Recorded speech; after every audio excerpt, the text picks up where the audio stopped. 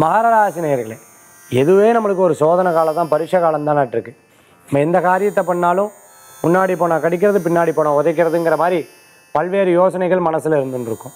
ஆனால் அவங்க நேரத்தை ரொம்ப உபயோகமாக செலவிடுவேன் இடப்பட்ட காலத்தில் கொஞ்சம் வேஸ்ட் பண்ணோம் அப்படின்னு நினச்சாலும் பின்காலத்தில் நிறையா விஷயத்தை உபயோகமாக செலவு பண்ணுவேன் கிளாஸஸ் எடுக்கிறது டீச்சிங்கில் ரொம்ப இன்ட்ரெஸ்டாக இருந்துருப்பேன் ஆன்லைன் சம்மந்தமான டியூஷன்ஸ் எடுக்கிறது போன்ற விஷயங்கள்லாம் எடுத்து பண்ணுவேன் புதிய முயற்சி வெற்றியை கொடுக்கக்கூடியதாக இருக்கும்.